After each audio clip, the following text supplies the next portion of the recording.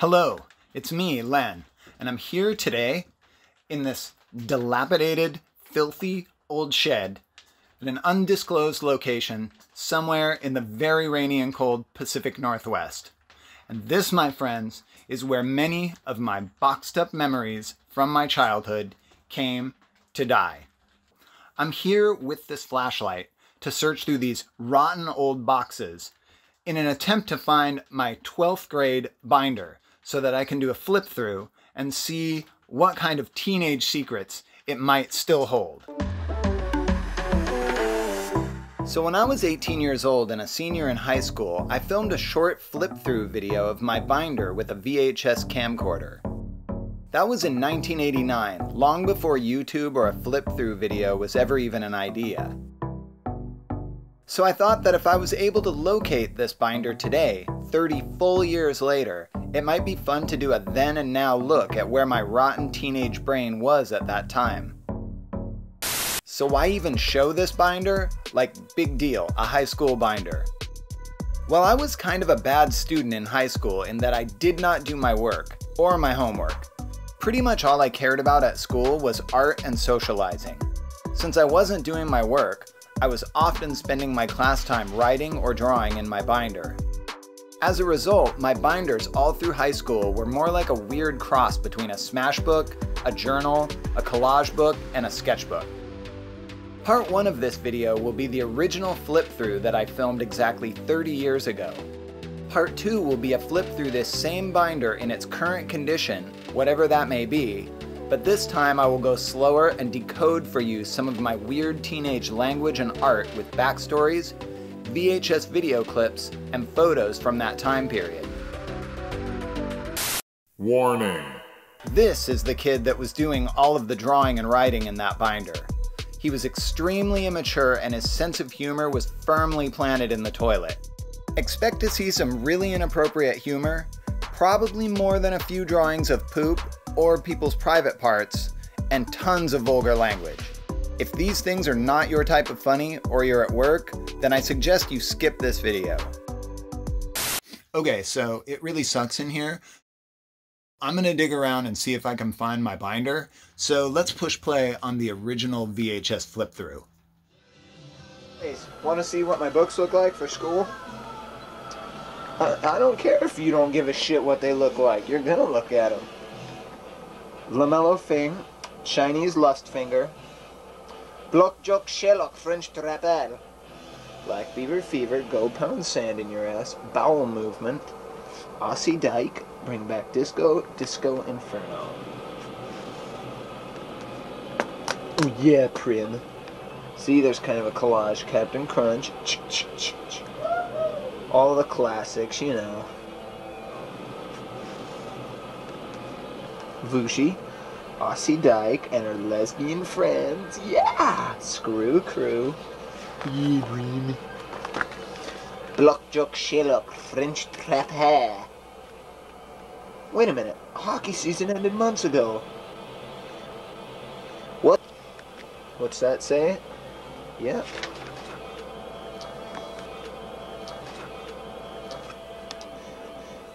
Red on the head like dick on a dog. And it was there. That's what it looks like when I floor. I fall down a great big tube and go plummeting. What's that say? Muttmaster spanks his laster faster on a 10 foot plaster caster while smoking. Okay. L LaMelo Fing. Aussie Dyke.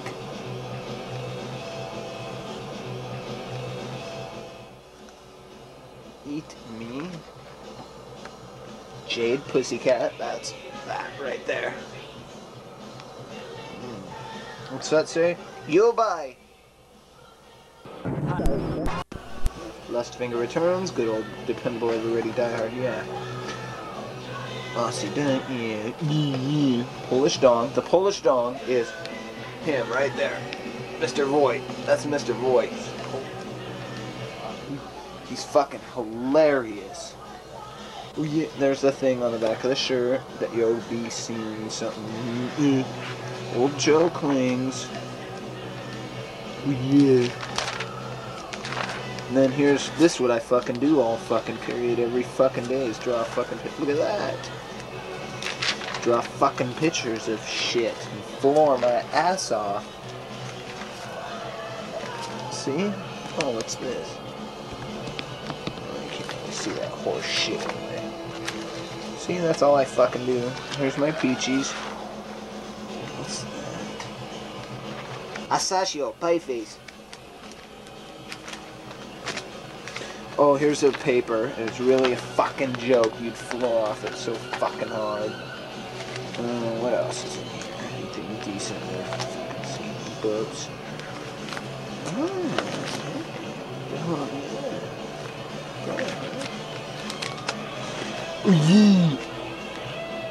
Glock Jock Sherlock, French de rappel.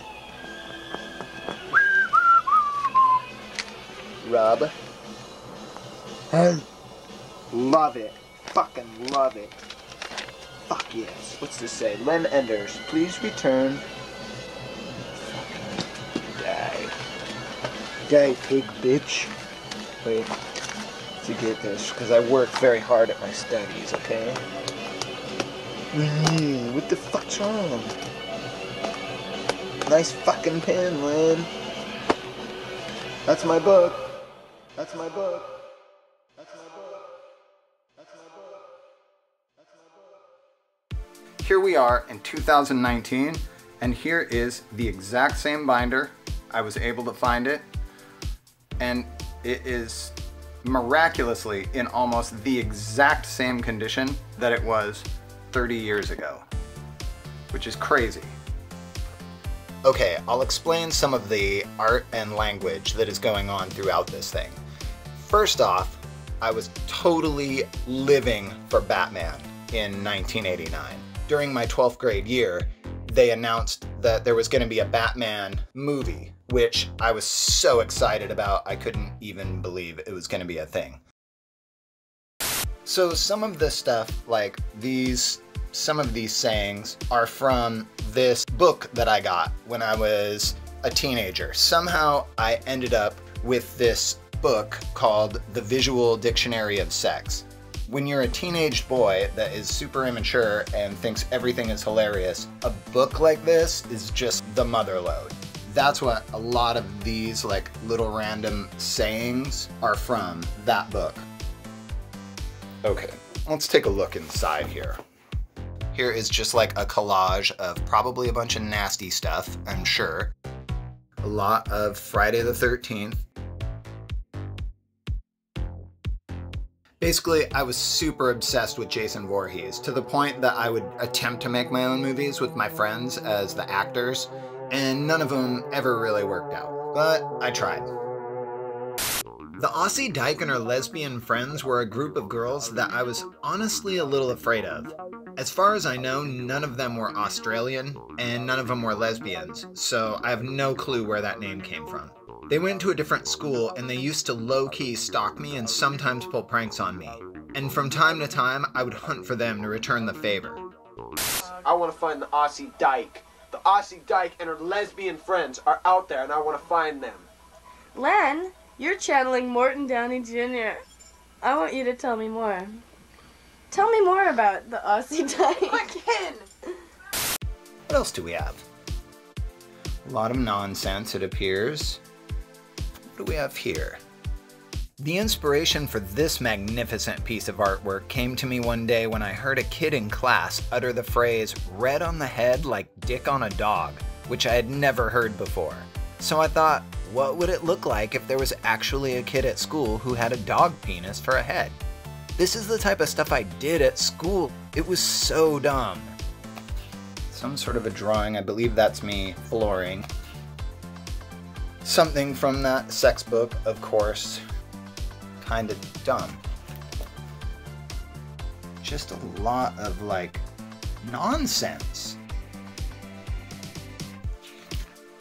And once again, this had something to do with stuff in that ridiculous sex book that was so hilarious to me. The Polish Dong. I'm gonna have to explain this to you, but not yet, because I'm sure that there's going to be more of this Polish dong nonsense. Getting the most out of class. Here's something I never looked at, even once, I'm sure. Instead, I just drew Polish dong stuff all over everything.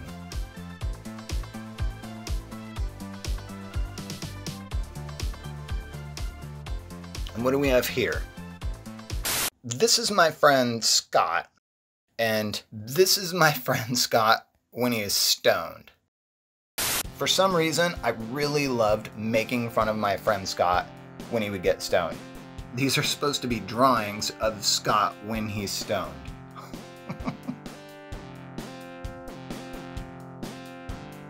Jerry Mackay was this old guy, and the first two times that I met him, I happened to be packing a video camera. And we had a super awkward interaction. So, the thing that I found so fascinating about Jerry Mackay was that he taped his glasses to his forehead, which you can see in the video. A couple years later, I actually became really good friends with him, and I would go sit downtown with him sometimes, have coffee, and we would sit on a bench and chat about stuff. And he was actually a really super cool dude.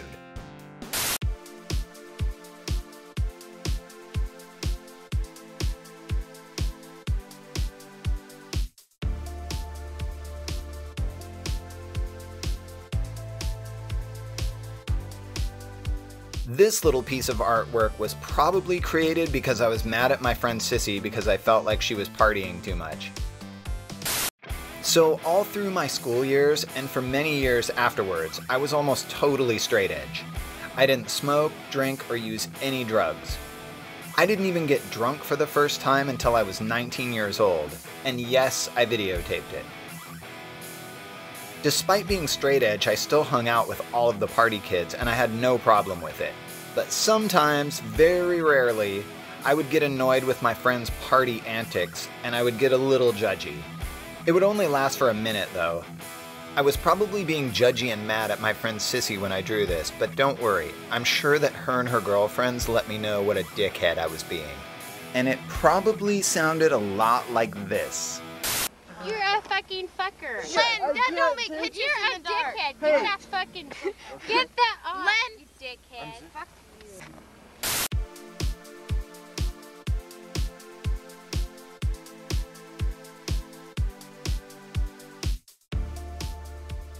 I'm flooring so hard right now. This appears to be me. I'm flooring, as seen right here. I should explain the concept of flooring to you. Flooring is like falling down with laughter, but you're taking it to the next level. It's where you've seen or heard something so ridiculous you literally can't get any oxygen to your brain and you pass out. I mean, not literally, of course, you're just acting. You've been floored by whatever it was that was hilarious. It could be something simple like someone is acting really ridiculous, so you're on the floor. This is the view of Len from the floor where I belong. Oh shit. Or let's say you got a phone call from someone you really didn't want to hear from. This might floor you. Or maybe your friend hooked up with someone that he swore he would never hook up with. And you ask, Who is she? And when you hear the answer, you floor. Now, as the levels of ridiculousness go up, so does the intensity of your flooring. If it's really hilarious, you might take your flooring up to a more dramatic level, falling down and writhing around on the ground. You could even take your flooring to such a level that it almost becomes a performance, and nobody witnessing this would have any idea what it is that you're doing.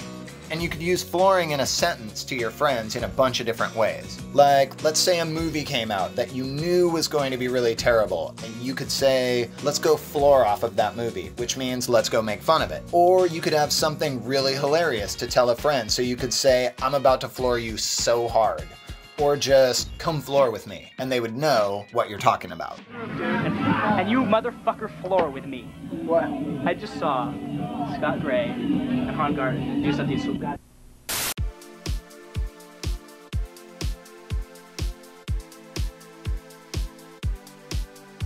Skeleton Crew was the name of the band my two friends and I had in high school. I used to try to come up with logos and t shirt ideas and stuff. We didn't have a singer or any songs though. We'd set up and jam in my living room when my dad was gone.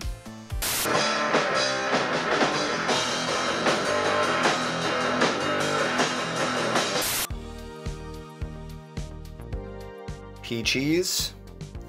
What do we have in here? This was like class predictions for what people would do after school got out. That was the thing that I drew the cover for.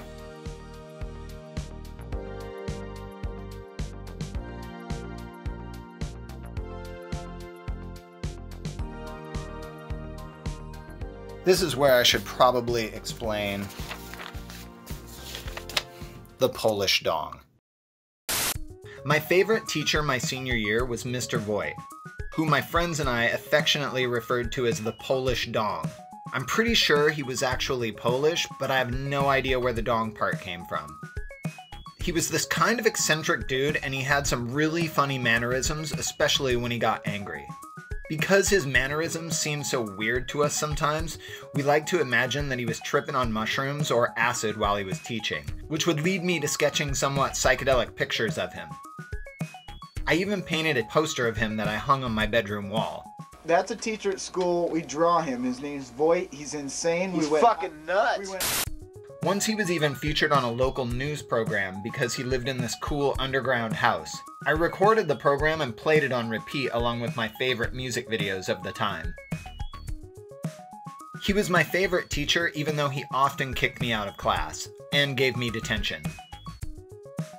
If you're familiar with the 1980s teen movie Fast Times at Ridgemont High, I was kind of like Jeff Spicoli and he was Mr. Hand. I loved that guy.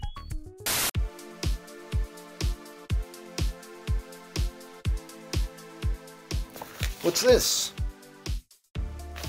This was the school newspaper.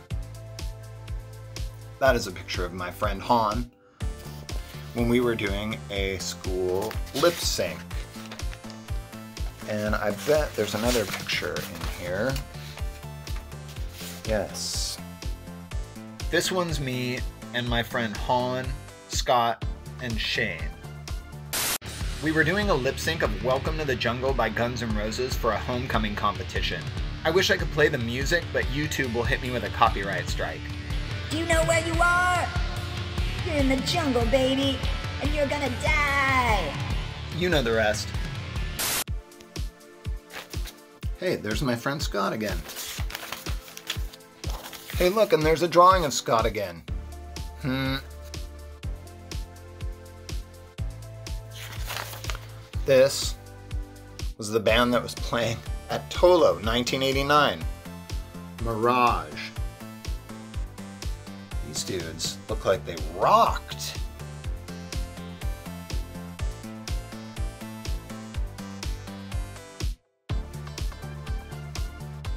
Jackpot Food Mart fucking rules.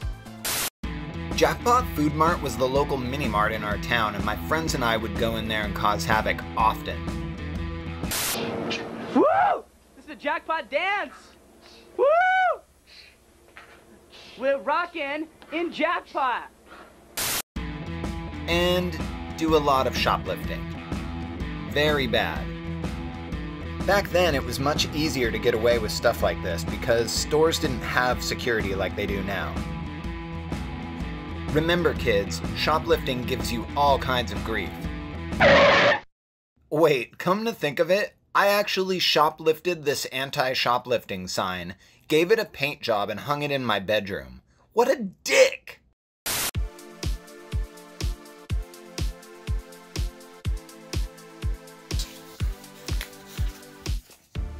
Merry Christmas from Jason Voorhees.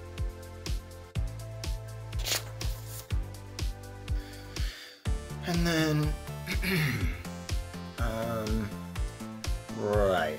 Good lord. That's literally a condom. That condom is 30 years old.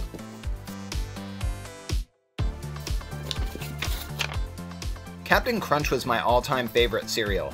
My dad wouldn't buy it for me though, so I had to use my own money to support my habit. I loved it so much I painted a poster to hang in my bedroom and I even painted the captain on the front of my favorite jacket.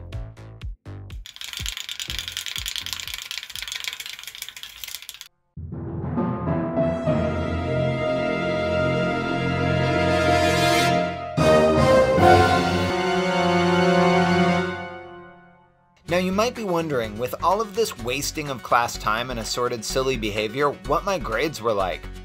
Well, it should come as no surprise that they were awful. My progress reports were an absolute nightmare, and most of the time I was just barely passing. Except for art class, of course. He may have been smiling here, but I can assure you that my dad was not at all happy about my grades. All through high school, he tried many different methods to get me to put more effort into my schoolwork. I recall that once, in what I'm guessing was a moment of desperation, he even purchased this study seminar on VHS called Where There's a Will, There's an A.